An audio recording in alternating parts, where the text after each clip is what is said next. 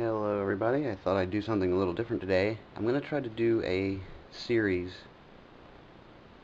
and there's a dog, of some old vintage laptops that I came across um, quite a while back. Basically my mom worked at a hospital and whenever they would get rid of old hardware and computers and stuff, they would wipe out all the personal data and then they would basically throw them away. So she was happened to be there that day when they were going to throw out several and she knew that I might be interested and she brought home a box full of old laptops. And you know obviously these are not ones that you could really do much with. Um, uh, they're most of them are from like the late 90s early 2000s but this one is the Gateway Solo 5300 and I'm planning on doing maybe a one review per week or maybe a couple per week till I get through all of them. Um, it's not going to be super detailed because a lot of them I just don't know a lot about and I had to really look up online to get uh, details but basically this one is this Gateway Solo 5300 um, I don't have the exact date when it uh, debuted. I'm guessing early 2000s because of some of the articles I read. Um, the original manufacturer retail price on this was $2,803, which is outrageous. Um, it was running on an Intel Pentium 3 processor at 550 megahertz, and it came standard with Windows 98 Second Edition, but you could get it preloaded with uh, Windows 2000 Professional if you wanted to. Um, it had this particular model has 64 megabytes of RAM. Um, you could, it has two RAM slots, and you could have um, up to 256 megabytes each, and each slot's um, for 512 megabytes total if you wanted. Um, the display is 12.1 TFT SVGA at 800 and by 600 and produced up to 262,000 colors which was actually pretty decent for the time.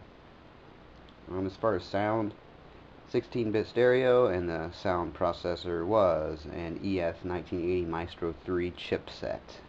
You have a phone jack for a 56k modem, and then also an Ethernet port, and then you also had a CD-ROM, which came standard. Um, actually, I'm sorry, it did not come standard. This actually has a CD-ROM drive, but you could swap that out for another 3.5 inch floppy drive, um, a super disk drive, or a second hard drive, or even a second battery. Um, the weight on this thing is really heavy. It's five and a half pounds just for the laptop. And then the battery, or the uh, power brick is another one and a half pounds so the whole thing is going to be over seven pounds. As far as the ports on the side you have the Kensington lock which is pretty basic then you have your three audio ports and then of course your phone and then you also have a PC card slot to expand and then the ethernet port. And on the back it's pretty basic you have your PS2 port for your for an external mouse or keyboard and uh, then you have your parallel port for your printer and then this also had a TV output which was kind of interesting for the time. Although it wouldn't work today you'd have to get a adapter to downgrade the signal for digital TV um, and then the next one is a docking port. I'll get back to that in a second and then a serial port, a monitor port, and then your one USB port. Um, but as far as the interesting thing, one thing about some of the older Gateway models is they, Gateway was really big on docking stations. Um, they would have these proprietary plugs on the back where you could plug in a docking station that you of course had to buy separately and it would basically expand your laptop and turn it into what would be comparable to a desktop.